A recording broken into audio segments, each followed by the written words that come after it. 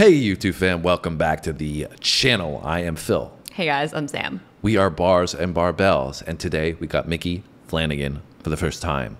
We're coming to Micky because we dropped a post asking you guys who your favorite comedian was, and on that post, how many comments did we get? Like 1100 or something. Wild. So many suggestions. I'm low key so excited because that means so many new comedians. Sam has really enjoyed her comedic ride thus far. Yeah, it's been amazing. So much fun. And This is like my favorite part.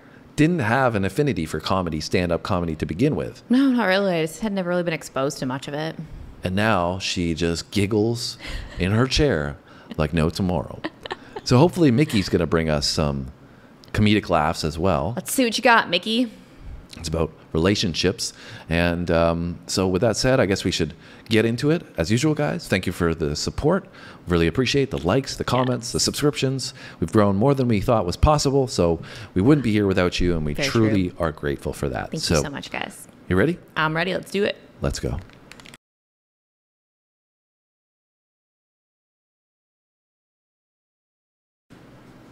The um, modern men, I like modern men. They're all buff now, aren't they? They're all buffed and preened and clipped. Hi, just. mm. you girls are so lucky. No pubes. No pubes. no one's got any pubes anymore. 80% of the population, no pubes. Should Ruining my that beard. lovely moment in a relationship when you look down the bed and you see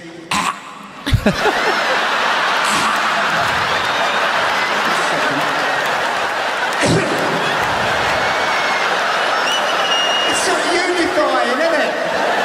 You're suffering for them. Go on, babe, you can get it out. Go on. You want a glass of water? Be right.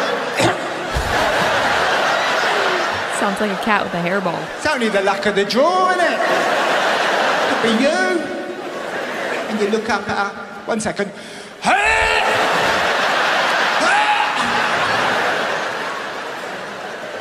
C- Carry on getting excited.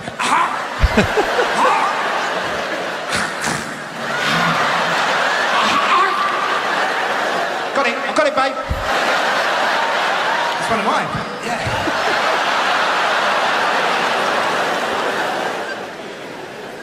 You young girls don't realise how lucky you are to have these lovely modern boyfriends, caring, understanding. Yeah, they, they'll be in the pub having a drink and suddenly they say, look, I have to go. I have to go. My partner's menstruating. Yeah, right. The least I can do is be there with her during this dark, dark time. I've told her it's not her period, it's our period. okay, share it with my sister. Oh, goodness. Yeah, I keep her supplied with paracetamol and hot water bottles. She's allowed to verbally abuse me whenever she likes. And she can punch me on the back of the head if that helps out. As long as I'm there with her. and as I come in, my wife comes to the door, she goes, So, what are your thoughts on that part, Samantha? Are you ready for it to be our period? I think unwittingly it already is. Unknowingly, I should say, to you, it already is. I don't think I ever verbally abuse you, punch you in the back of the head, or force you. You to. might use a heating pad, though. Yeah, but you don't deliver it to me.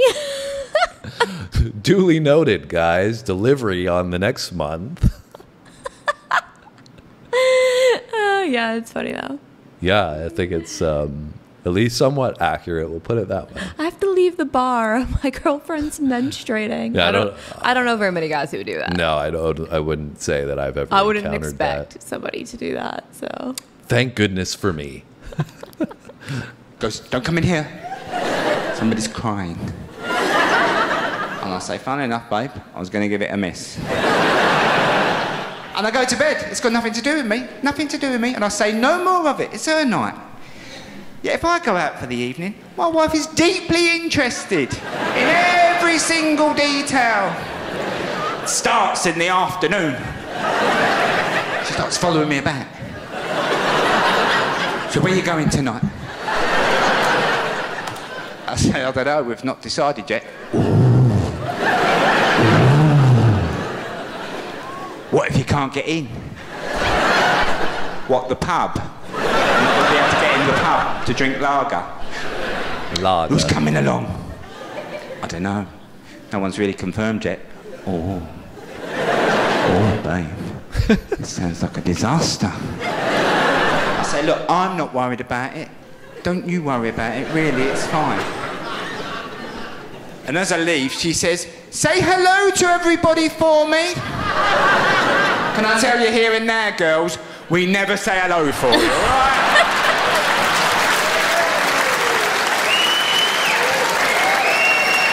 It goes in one ear and out the other.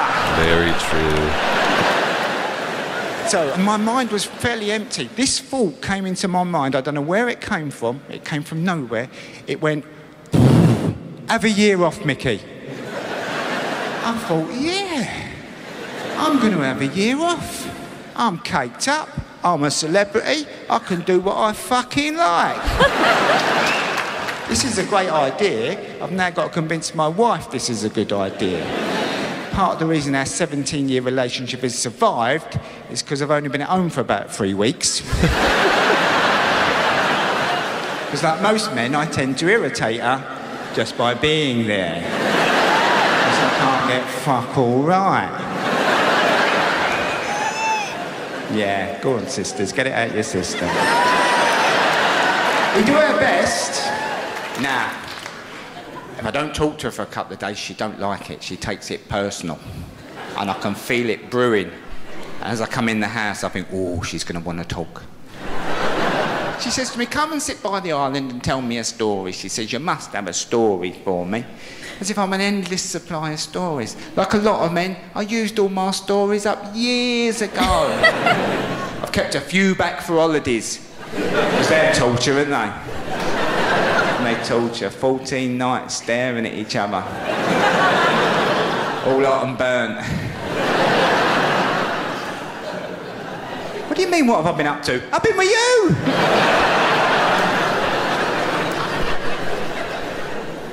you start talking ab. So, I mean, I I think like the first half that we heard, I would say was agreeable for the relationship component. Yeah. in some respects. So, in reference to my friends, you know, I'm definitely, if you're saying, say hello to so and so, I'm not running out and saying, hello. Samantha says hello. Hopefully, you guys are doing well. and that is accurate. Fair. However, I would say the latter portion here, and you can let me know if this is true or not. I don't think I really get under your skin all that much, and putting her on the spot at this point. I'm like, mm, and you know where because we're together a lot a lot. I'd say more than the average couple for sure. and this isn't my choice guys like i'm not saying i force her to be around me all the time um, but in respect of that maybe it's because he said 17 years Yeah. so we haven't been together that long but maybe this is what we have to look forward to if we're together that long In the then future. it will be um, at each other's throats and you'll only want to see me three weeks out of the 17 years Oh, I mean, that's a very low percentage of your relationship. yeah 0.01% maybe Yeah, I don't know about that. But No, so that's what I'm saying. I, I would say so far half and half. It's Yeah, been half yeah. accurate of the relationship dynamic, half not so accurate in our relationship dynamic. Yeah, I would agree with that. I think that there's kind of this stigma around that, you know, and I think it's for, like you said, like married couples who've been together forever and blah, blah, blah, you know, like 15, 20, 30, whatever years, that there's kind of this idea that, you know, the woman just kind of runs the show and the man's just like, yeah, whatever, what- whatever keeps my wife happy, right? I feel like that's kind of like this, like, just idea that's out there about married couples. Yeah. And, you know, I mean, Happy wife, happy life. exactly is the saying, I right. believe. So I mean, who knows? yeah. Well, let's find out what else I feel like that's kind of how it is with my parents. Like my dad's just like, yeah, yeah, do whatever you want. So you just get worn down so much, like Bill Burr's talked about. They just wear you down, and you're just like, you get to the end on your deathbed. yeah, my mom's and- definitely the boss. or let's see what else he's gonna add. absolute nonsense to each other, don't you? You just say anything. I think my flip flops are breaking, babe. When we turned up, they were flipping and flopping. One of them's flapping a little bit now. Flapping. You see other couples, don't you? And you just look at them. Come over here. Save us. Just come over. Help. She looked at me in a moment of terrible desperation. On the last holiday, she said, um, I saw a three-legged dog in the village earlier. I said, babe, I don't know where we go with this. It's like, you know, could normally find something, but I don't know where we go with a three-legged dog, you know. I think just to your point before that, you know, he's saying that they don't spend a lot of time together. So then when they do go on vacation, it's almost like they don't really know how to spend time together. So it's like Right, yeah. awkward. Whereas I feel like for us, because we spend so much time together, we can go on vacation and like we don't really have that problem. It's the same old, right? Yeah, Yeah. So I feel like that's probably part of the problem. Like they don't spend enough time together. So then when they do, they're like, Well, what do we even talk about? I mean, it's relatable probably for a lot of people, but especially for him because he's on the road so yes. much, right? Yeah, yeah. I'm just saying, that's all, I'm just saying. His And I did get my year funny, off. And what a fantastic year off I had. It was so nice being at home, getting to make decisions with my wife. Yeah. it's funny, isn't it, when you're talking to your wife, going, yeah, well, we could do this and we could do that, we could do this and we could do that, and part of you thinking, why the fuck are we having this conversation? We're going to do what you want to do. We all know it. Often my wife will make a decision with no consultation. She just does it. She came in about a year ago. She said, by the way, we're going camping next year. I said, oh, fuck off, will ya? sort of a moron goes camping. Apparently, the lower middle classes again. Yeah. Yeah, let's go and live like refugees for a week. That'll be fun. My thoughts exactly. Hate camping. It's horrible upsetting your partner. Because you know what you got to do now. you got to become creepy crawly husband. Walking around the house. Tiny little creepy crawly husband. Don't do anything to upset her. I put the football on. No, I'm not putting the football on. I don't like the sound of that. It's starting to get smaller and quieter and tidier. Hmm. You start doing shit you don't normally do. I've emptied the dryer for you, babe. Oh, I meant for us. Sorry, I meant for us. I don't know what I was thinking there. There's no separate spheres in this house, sister. Just a circle of equality. If you do this for long enough, she comes back. She parks the boat up, she comes back, and you go, thank God. Now I can work on her a bit more. Maybe we're back to normal in about two or three days, two or three years. Much quicker turnaround with me, much quicker turnaround with me. My wife has a penchant, a penchant for shrinking my t-shirts. And I buy quality now, proper quality, fruit of the loom. If you got it, flaunt it. Fuck it, I told you I'm cracked up. Fruit of the loom. 12, 14, 15 quid, let's have it. I get two wears out of it. Suddenly I go to the dryer, there's a crop top. oh, here we go. I go in, I said, babe, look, another one. Two wears I've had out of this. She says, well, you could do the washing yourself, couldn't you? I say, that's what, I'm, I'm not here to argue about that. I got the right ump the other day, though. Nice t-shirt, shrunk. I said, I said, I tell you what, babe, it's unacceptable. And as I walked away, she went, ooh, unacceptable, is it? I went in the front room, I slammed the door. I pushed it quite hard, right? Me and the dog are watching Flog It, right? We're watching Flog It, me and the dog. She likes Flog It. She knew she'd upset me. She knew. She knew. The door came open. A little face come round the door. She said, you want a wank? The point in arguing, baby? Where does it, really, where does it get? Tell me, really, where does it get you? It's old fashioned, mate. Nobody argues anymore. Everyone talks things through.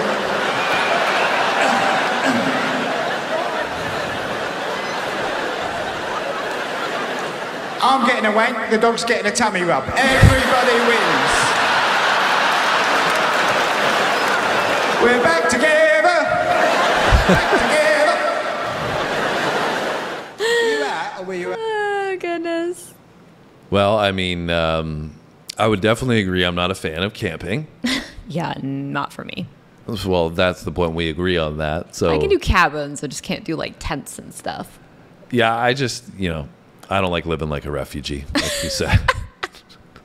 it's like depriving yourself. I mean, I like the I like nature. Me I like too. the elements and stuff. But I would I say like sleeping on the ground with bugs. bugs. Yeah. Um, but uh, I would say, you know, we paused it midway there and we were talking about how maybe it doesn't apply to our relationship. And I think I would agree with that sentiment a little bit more. Um, but maybe like we did Patrice O'Neal, for example. Mm-hmm. Yeah. Right. And I can't On remember. relationships. Yeah, I was on relationships. I can't remember what the title was, but that seemed to be much more truthful and representative of our dynamic.